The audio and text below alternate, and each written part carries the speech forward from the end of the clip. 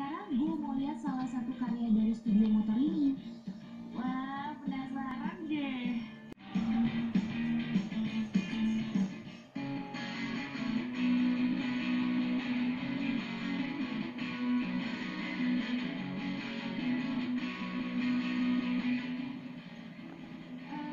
Ini Ini. salah satu motor yang sebetulnya masih masih sedikit eh, butuh keseluruhannya sudah hampir selesai. 98% tinggal 2% tinggal finishing dikit-dikit. Tapi ini udah keren banget loh. Ini emang basicnya motor apa? Basicnya ini GSX 1000 dengan dengan basicnya sebenarnya motor-motor dengan tipe sport atau motor balap. Hah? Jadi kita lepas semua frame-nya, kita bikinin frame baru. Oh. Eh, totally semuanya eh, kita buat di luar dari kaki-kaki kayak ban dan eh, shock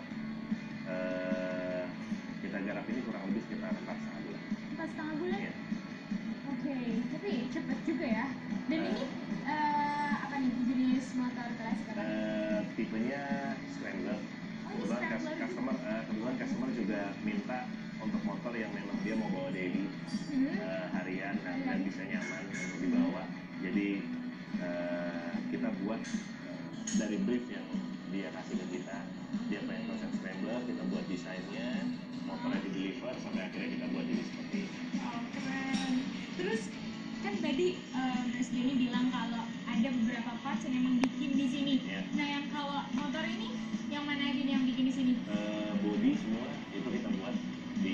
studio motor termasuk juga sasis itu kita buat juga karena memang ini sasis bukan sasis bawaan motor Hah? Eh, bentuk sasis bawaan motor aslinya delta box karena memang untuk motor balap dan memang nggak nggak agak susah untuk diterapin diterapin pada saat kita bangun jadi semuanya kita bangun eh, di sini Oke, keren. Terus kalau ban itu Eh. dibikin ya untuk bannya kita pakai yang dual purpose karena memang eh, lebih ngentalin kesan scramblernya juga Iya. jadi paling tidak motor ini masih bisa diajak untuk rute-rute yang light off road Keren, keren banget.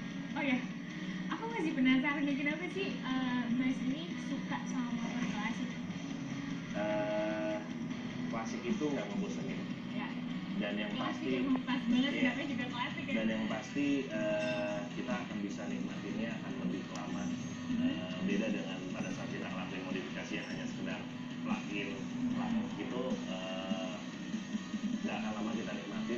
tapi buat buat saya sih sebenarnya tampilan klasik atau vintage memang jauh lebih enak untuk dilihat Dan abadi. nggak ngebosenin. Ya, Iya. abadi banget.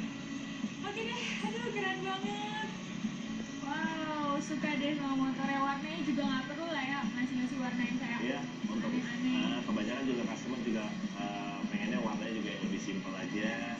Jarang ada yang mau neko-neko dengan warna yang bermacam-macam. Jadi memang warna-warna dasar kayak hitam, merah, putih Karena memang bertemakan klasik. iya memang jadi ciri khas banget.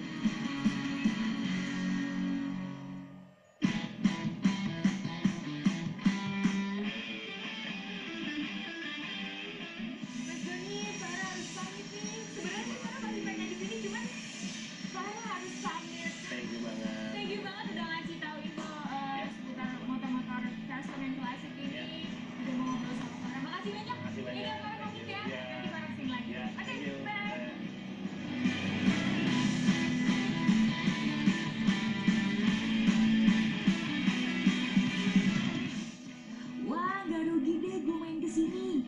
Udah nambah pengetahuan gue soal motor. Selain itu, gue juga dapat info-info menarik soal ngemodif motor. Jangan ke mana-mana ya.